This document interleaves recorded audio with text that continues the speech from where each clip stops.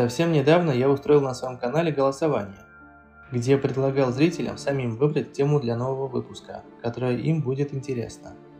Большинство проголосовали о насущном – пути и возможности экономического взлета Армении. Я не хочу и не буду загружать вас заумными графиками, данными аналитических агентств с экономическими показателями Армении. В этом видео предлагаю вместе поразмыслить над тем, какие очевидные при этом не фантастические возможности есть у Армении для существенного экономического роста. Просьба всем писать в комментариях свое мнение, исправлять меня, если я в чем-то буду неправ. Также я хотел бы узнать, что вы делаете для благополучия нашей Родины. Это может быть все, от ведения бизнеса и создания рабочих мест в Армении до перевода из-за рубежа денег своим близким. Ведь даже эти средства потом тратятся внутри Армении и влияют на ее экономику. Начнем с того, что у Армении нет привычных возможностей других стран. Нет нефти и газа, как у Персидского залива или России. Нет моря для развития пляжного отдыха и туризма.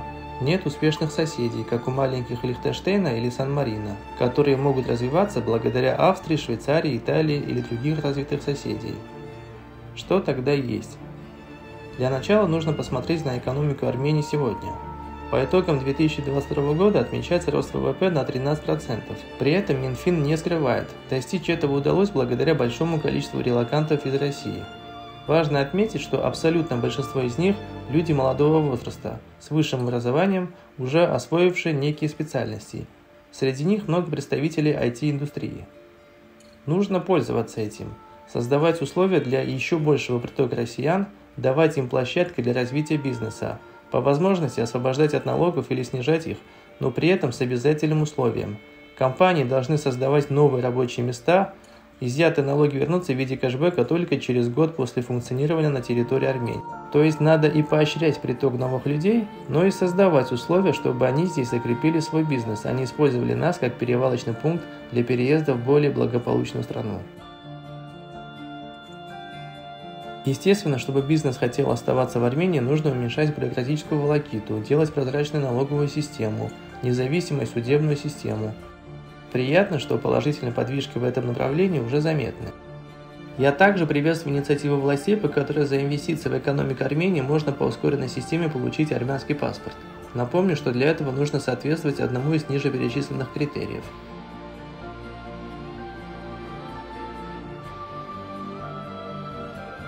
Властям нужно сделать ставку на IT-индустрию, максимально воспользоваться компетенциями прибывших российских кадров, чтобы поднять уровень собственных. Цены на нефть могут упасть, туризм из-за очередной пандемии может быть ограничен, сельхозпродукция сильно зависит от колебаний погоды. Да и нет у Армении таких больших площадей для посева, чтобы много зарабатывать на сельском хозяйстве.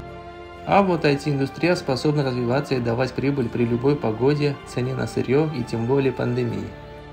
Очевидно, что будущее за высокими технологиями. Армянская молодежь образована, владеет русским и английским языками.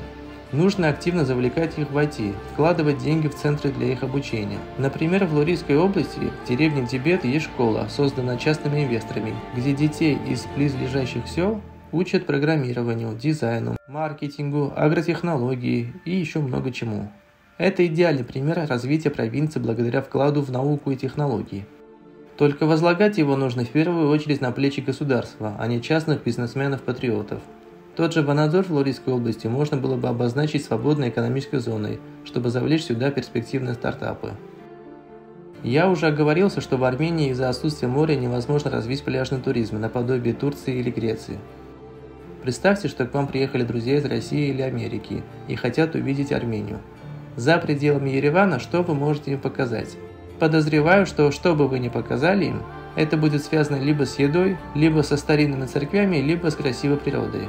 Это, конечно, замечательно, но вкусно поесть можно и в Ереване. А постоянное посещение действительно величественных церквей может утомить даже интересующихся этим пенсионеров, не говоря уже о молодых людях. Почему бы не развивать так называемый экстремальный туризм? Приведу пример. Я с друзьями захотел сходить на рафтинг. Это спортивный сплав на горной реке. Можете погуглить, сколько мест для рафтинга в Армении. Всего одно. На реке Депет все в той же лоре. И это на всю республику. Мы называем себя страной гор, при этом у нас совершенно не развит альпинизм. Нужно активно рекламировать восхождение на Рогат и другие наши высоты. Такие услуги, конечно, есть, но ответьте себе честно, часто ли вы слышали о них? А много ли вы знаете мест в Армении для вейкбординга, не считая Сивана? Наверняка многие из вас даже не знают, что это такое, а ведь для вейка достаточно даже небольшое озеро, которое можно найти в любой области Армении. Также нет ничего постыдного, чтобы учиться на примере более успешных туристических держав. Взять ту же Турцию, где в регионе Каппадокия есть замечательная традиция на рассвете запускать десятки воздушных шаров, полет на которых начинается с 250 долларов.